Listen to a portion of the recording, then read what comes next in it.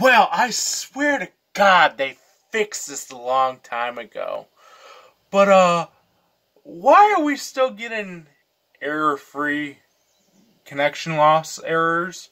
Or code free, I should say, whatever you want to call them. But this is ridiculous, Jeff. I thought you fixed, you and your team fixed this a long time ago.